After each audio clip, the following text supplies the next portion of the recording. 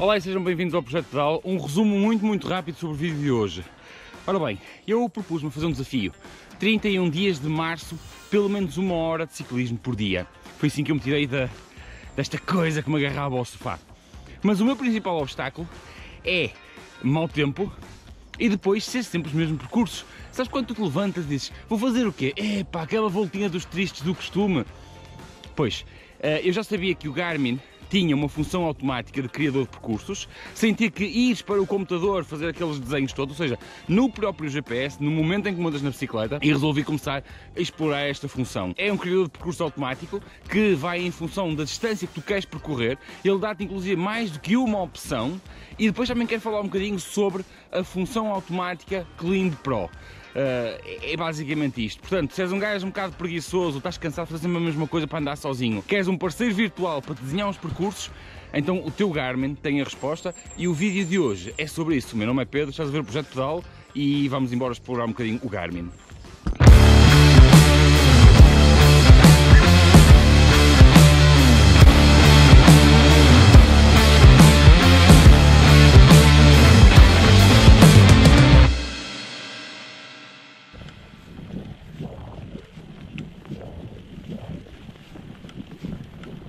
Eu não estou a perceber porque ele não me está a ligar o Clean Pro nesta subida.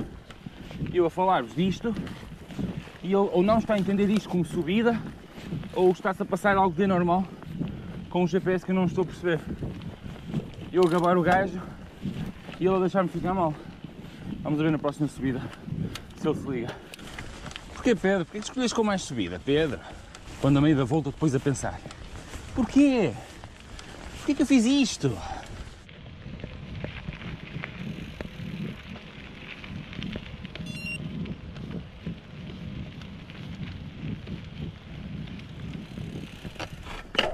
Ora bem, ele mandou-me virar ali atrás.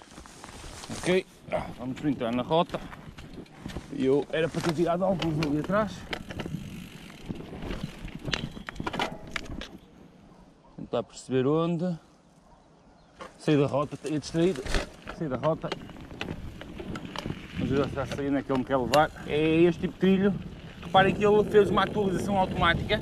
Ele identificou que eu saí da rota mas encontrou trilhos e portanto fez uma atualização para me levar exatamente para onde eu pensei, onde eu estava a pensar antes de ele fazer a atualização. Agora é preciso saltar aqui, porque este trilho tens aos Avengers, ok? Avengers está ali. Ah, cá está ele, cá está ele, cá está ele. Deixa-me mostrar-vos isto. Ele está-me a dar neste momento a indicação que a subida tem 512 metros está ali, ok? Vai subir 35 metros, tem uma inclinação média, onde é que ela está? 6%. Tem uma inclinação média de 6%, está ali. E pronto, está aqui isto tudo.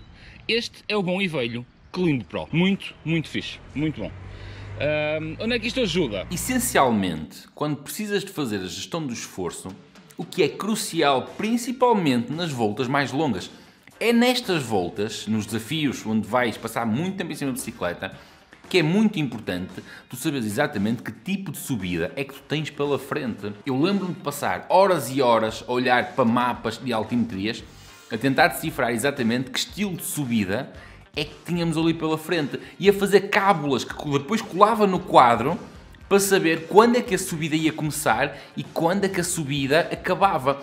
Isto também ia ajudar, por exemplo, a gerir alimentação, hidratação, mas sobretudo tem a ver com a questão do esforço. Por isso é que esta função Climb Pro é genial e eu sinceramente apaixonei-me por ela. É muito bom tu saberes quando é que ela começa e quando é que ela vai terminar. Também pode ajudar a tu decidires como é que vais enfrentar aquele estilo de subida. Porque se é uma subida mais longa, tu vais enfrentar de uma forma, mas se é uma subida mais curta, podes, por exemplo, decidir colocar-te em pé e atacar aquilo a todo o gás. A campeão, por exemplo.